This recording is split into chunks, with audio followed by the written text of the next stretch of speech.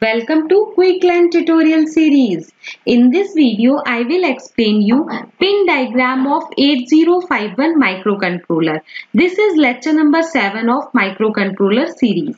So before I discuss the pin diagram, first I will give you a brief introduction of microcontroller. Uh, what is microcontroller? Microcontroller basically a microprocessor based system with integrated peripheral. It means microcontroller basically consists of CPU, central processing unit, uh, memory that is ROM, RAM, clock generator, input output port, timer, counter, all the device, all the component uh, which is required to perform a specific task, um, all component embedded on a single chip. That's why it is also called the embedded system or microcontroller is also called mini computer or system on chip. Now, how microcontroller is different from microprocessor? Microprocessor only having a CPU central processing unit and central processing unit basically consists of a register control unit and ALU all the other component just like memory input output port clock generator or other component we use externally in case of microprocessor. So this is the basic difference between microprocessor and microcontroller Microprocessor is basically only a CPU. If we want to connect other peripheral, we connect them externally. But in case of microcontroller, all component just like CPU, memory, input output port, all component uh, to perform a specific task is embedded on a single chip. Now what do you mean by 8051 microcontroller? 8051 microcontroller is basically designed by Intel in 1980s this is most popular and general purpose microcontroller.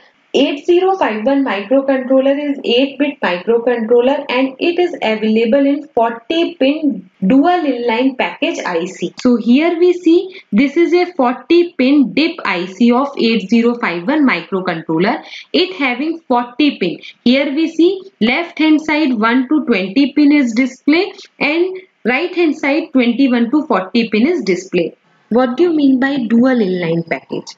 Actually IC it means integrated circuit are put into protective package to allow easy handling or assembly into the PCB printed circuit board and to protect the device from damage a very large number of different type of packages are exist.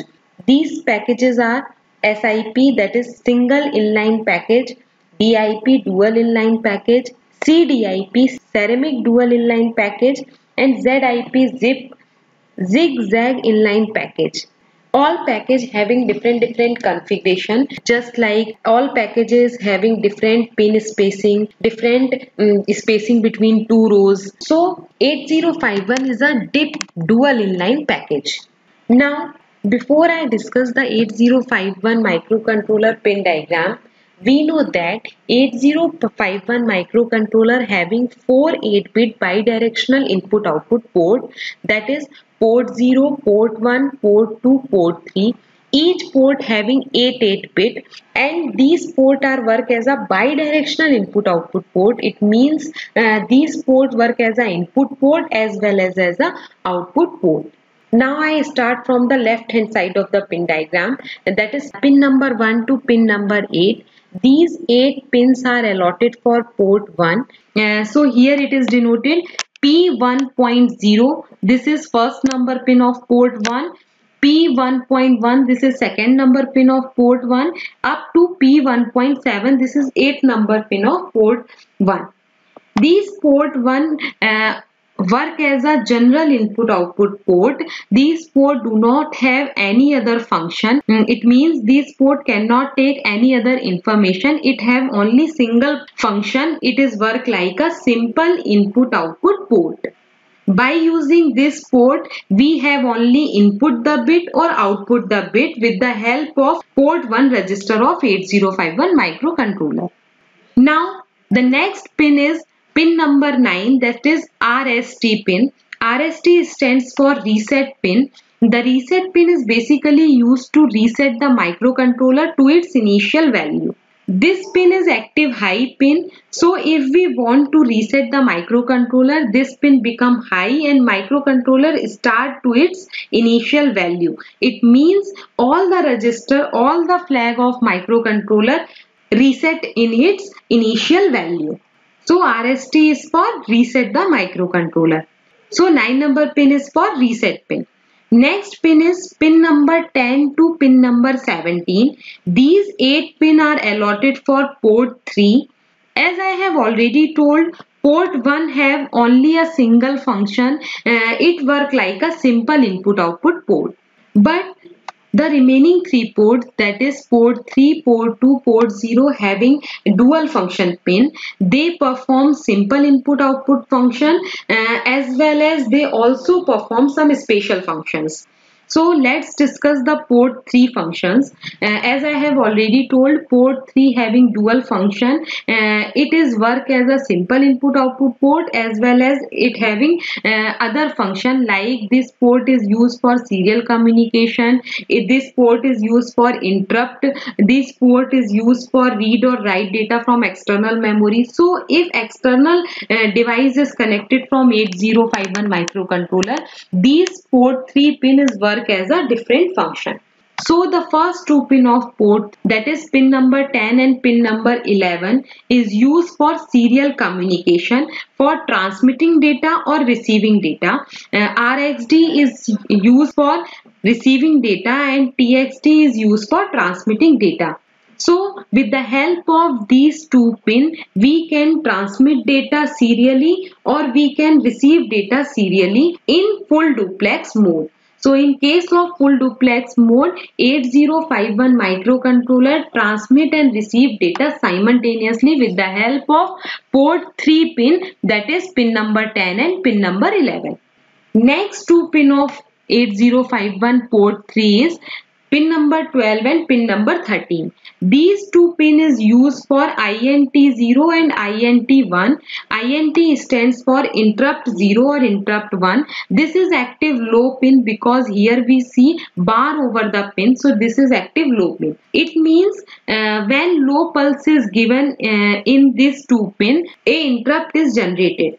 Now what do you mean by interrupt? Interrupt is basically an external event. When interrupt is generated by using these two pin, 8051 microcontroller hold the current execution of main program and serve the external event and give reaction to that event. When this external program or that, that external event is finished, the 8051 microcontroller come back again and execute its main program. This will be held with the help of ISR interrupt service routine. Now the next pin of port 3 is pin number 14 and pin number 15. These two pin are allotted for T0 and T1. Uh, these are the input to the counter related to timer 0 or timer 1. So we can say that these two pin are used for counter mode of operation.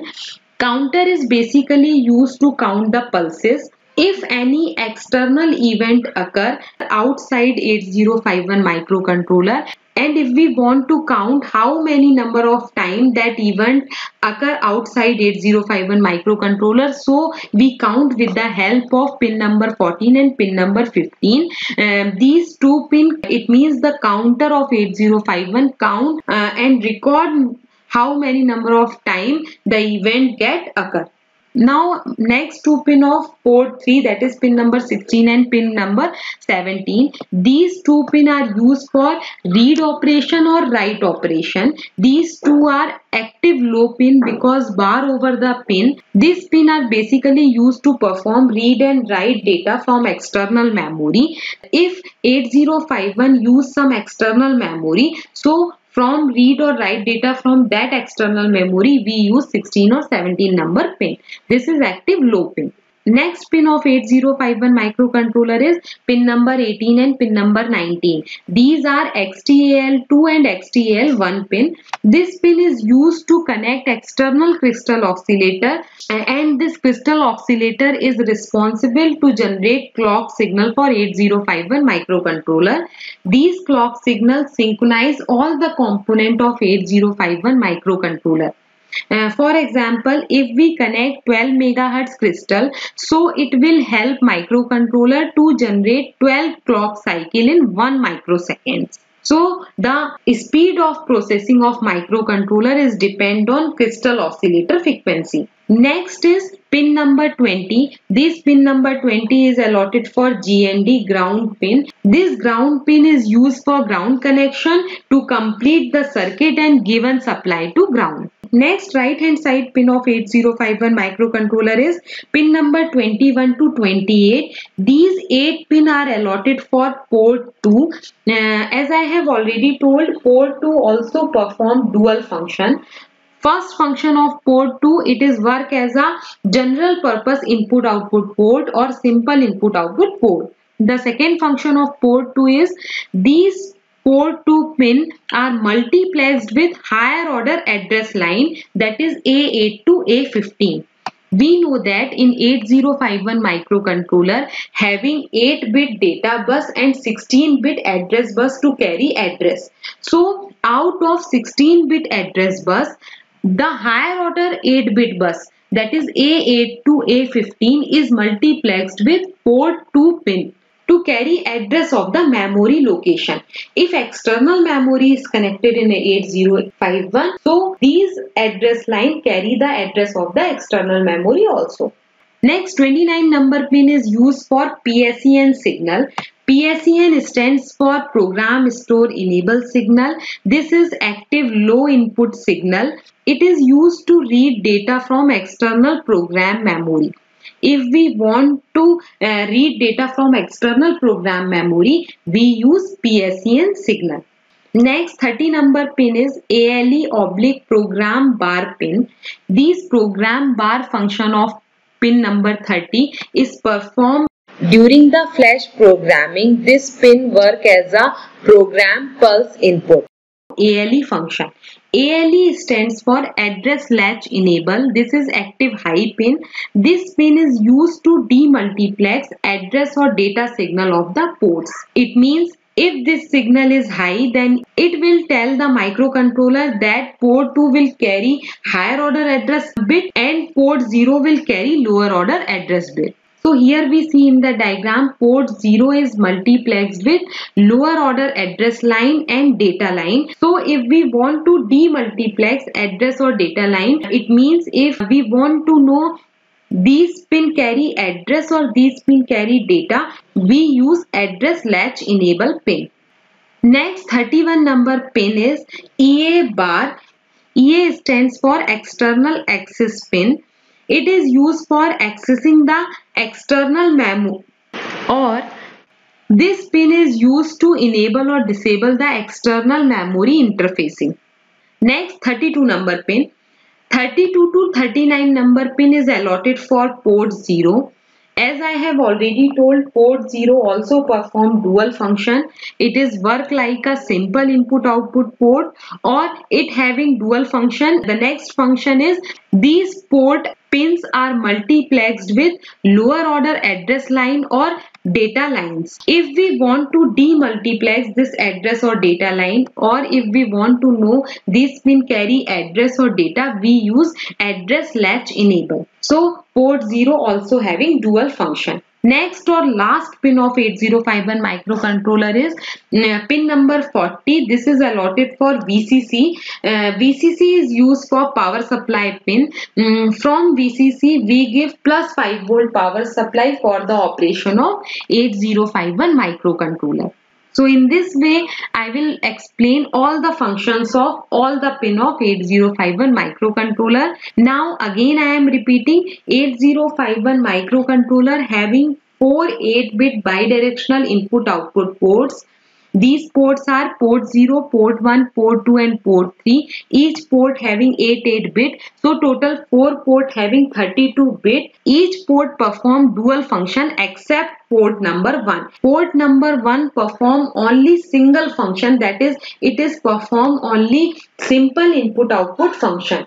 But port 3, port 2 and port 0 these three port perform dual function. They are work as a simple input output port and perform other function also. So hope you like the video. For more interesting video, please like, subscribe and share my channel.